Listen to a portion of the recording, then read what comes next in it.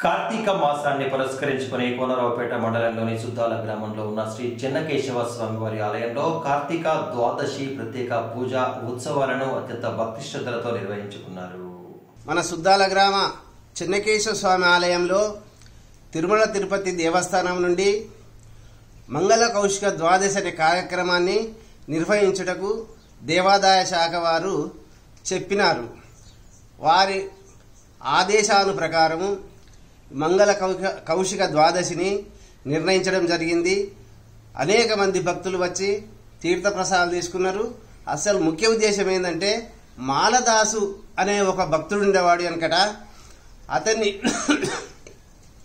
అతని ఆలయ ప్రవేశం చేయకనే చేయనీయకపోవడం వల్ల ప్రభుత్వం ఆ గుర్తింపును